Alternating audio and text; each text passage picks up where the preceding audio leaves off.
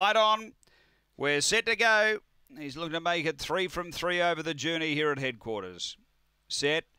Away, Zipping Gallon step cleanly. There's some pressure from Corborn Terry early, who's really pouring the heat on.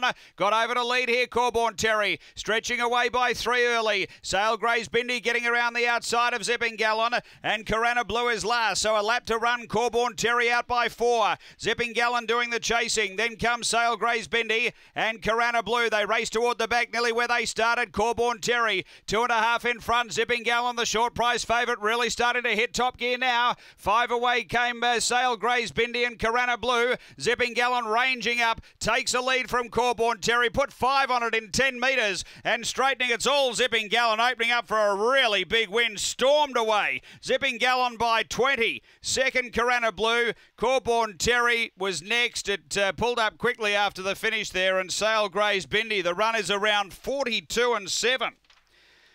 This is a big run. That's uh, what only about two and a half, three lengths outside the record. Um, well, maybe four at a stretch, but gee, big win. Zipping Gallon. It was his last section here.